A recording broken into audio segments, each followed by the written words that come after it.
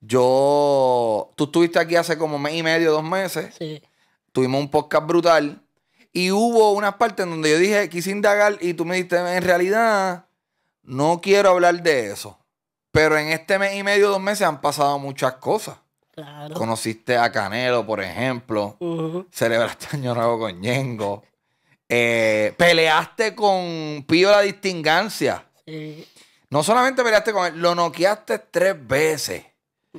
Tiene, Humildemente, Ah. sí. tiene un problema con el primo de Hincho, que eso lo quiero hablar. ¿De dónde?